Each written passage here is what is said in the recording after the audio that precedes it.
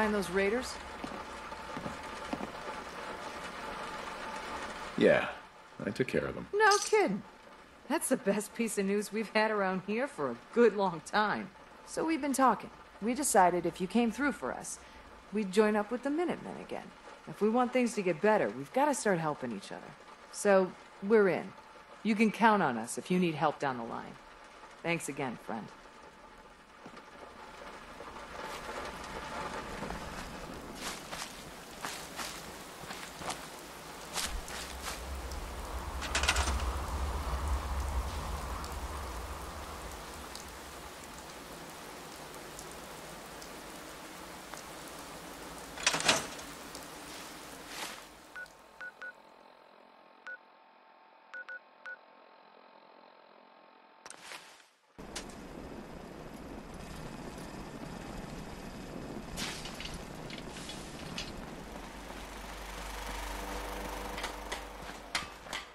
The Minutemen could use someone like you.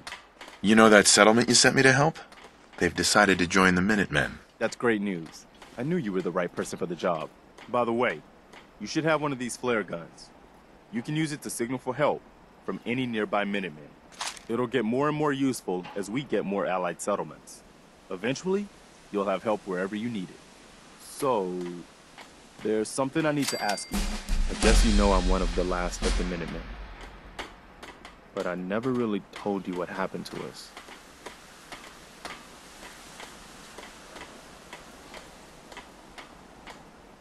I'm listening. Have you heard of the Quincy Massacre?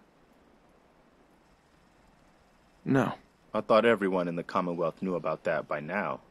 Where the Minutemen betrayed each other and the people they were supposed to protect. I was with Colonel Hollis's group. A mercenary group called the Gunners was attacking Quincy. The people there called for the Minutemen to help. We were the only ones that came. The other groups, they just turned their backs on us and the folks in Quincy. Only a few of us got out alive. Colonel Hollis was dead, so I ended up in charge of the survivors. We never found a safe place to settle. One disaster after another. You saw how it ended in Concord. What was the Quincy Massacre? I thought everyone in the Commonwealth knew about that by now. I was with Colonel Hollis's group, a mercenary group. We were the only one. Only a few of us got out. We never found. Uh huh. I know how it feels to be the last survivor. Yeah, I guess you do. That's why I'm talking to you. I can't rebuild the Minutemen, but I think you can. Why can't you lead the Minutemen? That's not who I am. I can get my men through a firefight. I can defend a perimeter against all odds. But that's not going to be enough to bring the Minutemen back from the brink. We need someone who can bring the whole Commonwealth together in a common cause. And I think you've got it in you to be that leader. Mr. Garvey is quite right, sir. If anyone can unite the people, it's you. What makes you think I can do this? You saved us in Concord. There wasn't anything in it for you. You had your own problems to deal with, but you did it anyway. That kind of selflessness has been in mighty short supply around here for quite a while. Can you explain what the Minutemen are all about? We're citizen soldiers. The people of the Commonwealth banding together to protect ourselves and decide our own future. That was the original idea, and it was a good one. The Minutemen fell apart because our leaders forgot what we were supposed to stand for. I think you're the one who can bring the Minutemen back and bring the whole Commonwealth together. Okay. I'll do it. That's the spirit, sir, and one giant step in the right direction for the Commonwealth. Good. Good. Welcome aboard. I feel like this is a whole new start for the Minutemen and the Commonwealth, too. Don't worry. I'll be right beside you all the way, General. Why are you calling me General? The leader of the Minutemen has always held the rank of General. Our last leader was General Becker.